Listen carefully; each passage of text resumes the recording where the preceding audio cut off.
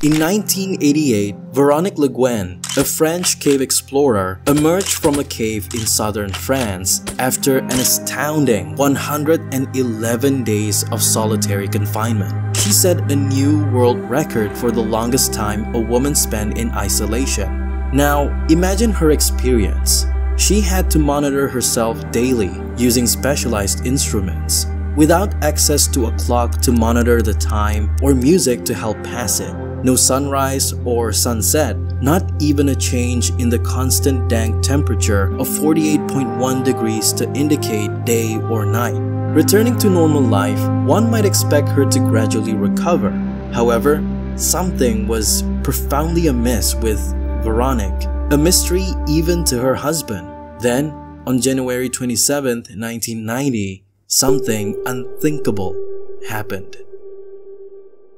What exactly occurred during Veronique's experiment that so profoundly affected her?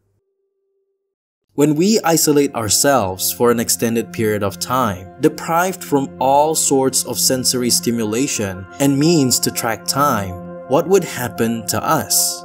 Such conditions are crucial to understand if we plan to send people into the far reaches of the solar system. For instance, a trip to Mars could involve about 7 months of travel, meaning a round trip with time spent on the planet might total around 18 months in a state of extreme isolation. Thanks to Michel Siffre, a French scientist who stayed in a cave for 205 days back in 1961, found that although he managed to adapt, he faced substantial challenges towards the end of the experiment mentally. Fast forward to 1988, the interest in further exploring human responses to such conditions resurfaced. This time, the focus shifted to examining how a female would adapt to similar conditions over a three-month period. If you're curious about how Michel Siffre nearly lost his sanity and what groundbreaking discoveries he made about the human body, I highly recommend you watch my other video. In that one, I delve deeply into his experiences and findings. This video will focus more on what happened to Veronique, and you don't want to skip this because her story is very unsettling. So, back to our story. Michel Siffre was in search of a volunteer for his experiment, specifically seeking an experienced cave explorer. As it turned out, his friend's wife, Veronique Le Guen, was an ideal candidate.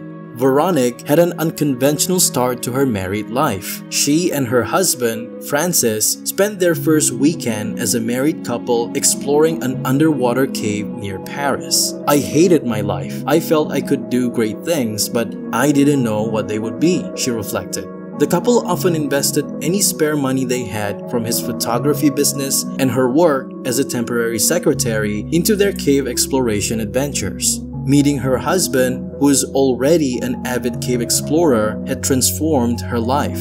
Then, when Michel Siffre presented her with the opportunity to participate in a significant experiment, Veronique didn't hesitate to jump on the opportunity.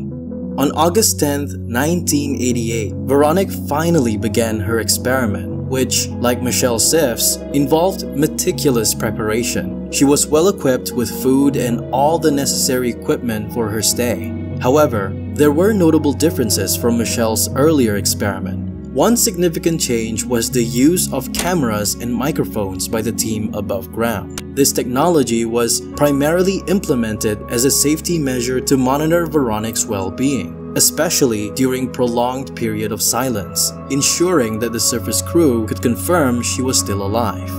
Another key difference was the absence of a music player. Music had been a crucial element in maintaining Michel Siffre's sanity during his isolation. In contrast, Veronique's only source of entertainment was reading books. The perception of time underground can be strikingly different, lacking any natural indicators of day or night. For Veronique, this meant relying solely on her intuition to gauge the passage of time. Initially, for the first 15 days, her sleep-wake cycles remained relatively normal. However, they soon began to deviate significantly.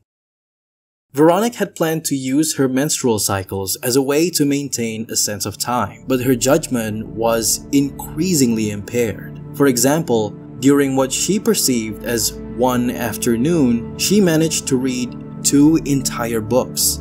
In another instance, after preparing lunch, she decided to take a brief nap, only to find that she had slept for 18 hours. This pattern of distorted time perception grew more extreme, with her eventually staying awake for nearly 50 hours and sleeping for 30 hours at a time. The disorientation was very evident in Veronique's experience. Despite her intention to track time through her menstrual cycles, her skewed sense of time led her to believe that her periods were only 11 days apart. She reflected, if I had trusted my body, I would have been very close to the real time. Like Michel, Veronique had a series of daily tasks to perform in order to track the changes in her body, and it's proven to be a significant struggle for her she had to perform thousands of tests, including attaching and reattaching electronic sensors to her face and breasts, meticulously measuring and weighing her food, collecting urine samples for testing, and even conducting blood tests. The sheer volume of these tests was enormous. Even two years after the experiment, the data from the 15,000 tests she had conducted was still being analyzed. At one point, after oversleeping, Veronique failed to complete her daily tasks and Michel called her and she was surprised to hear how furious he was because she had failed to connect the sensors that measure her vital signs.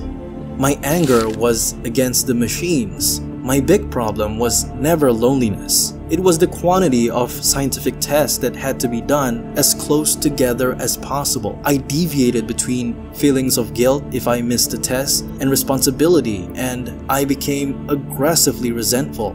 I feel a wave of immense aggressiveness that dominates my spirits. I struggle one after the other. I look at each of the instruments of my torture, equipment to take samples, analyze, count up, manipulate, pierce, a crazy desire overcame me to smash and destroy everything.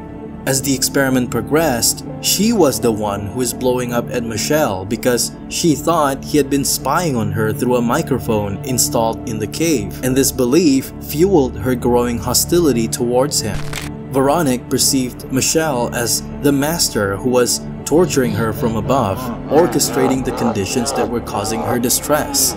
She did a sketch of her cave that included a self-portrait, published with a series of articles that she wrote from underground for Figaro magazine in Paris, which showed her being strapped and laced with wires and probes. The sketch also showed a bookshelf where Michel is the author of the books on sadomasochism.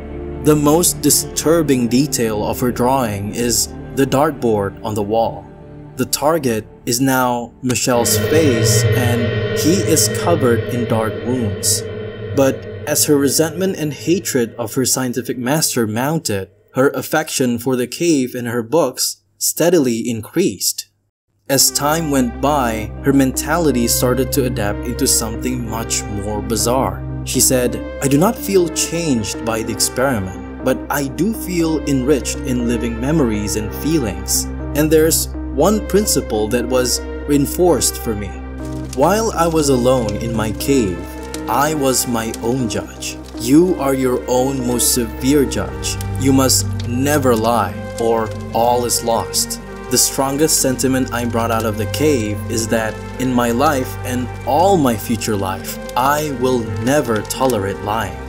When Veronique received the message that her time underground had come to an end, she experienced a surge of affection for the cave that had been her home for so long. In a symbolic gesture of farewell, she placed candles around the interior of the cavern, illuminating its natural features. One last time, she wrote in her diary, I spoke to my stalagmites. I praised their bearings, their elegance, I didn't mention their age because, like Dorian Gray, they're not accessible to time. I thought, not without pangs of the heart, one of those furtive and lucid visions of life, that I would come back with white hair, my face wrinkled like an old apple.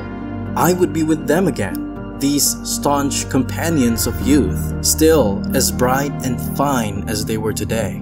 Upon emerging from the cave, Veronica expected that she was finally going to break out of this rut she was in, but strangely, she was instead swept by a sense of regret. Despite resuming her normal life, she occasionally appeared disappointingly detached from the world above ground. This reaction was unexpected, especially considering her earlier description of the expedition as torturous. The passionate cave explorer who had eagerly volunteered for the experiment seemed to have undergone a profound transformation. Worse, something inside her was gone. Because a week later after her experiment, sitting and talking with a reporter, Veronique was considerably, visibly, less emotional and frankly surprised by the before and after sameness of everything up here. When I was in the cave, I was afraid of what would happen when I finally saw people again. To my surprise, I discovered that the return was not at all difficult. I was gone for months, but now I feel as though I was only away for one week. And then, two years later, she was found dead in her car in northeastern Paris due to an overdose in barbiturate. Of course, Francis, Veronique's husband, was beyond heartbroken, and judging from the article that I read, it seems that there's a rift between him and his friend, Michel. Michel wanted to sweep everything under the rug, saying that the incident does not have any relation to her expedition, it was just purely private reasons. But Francis argues otherwise. According to her husband, he too couldn't understand what problem she was facing. He said she had had an emptiness inside her which she was unable to communicate.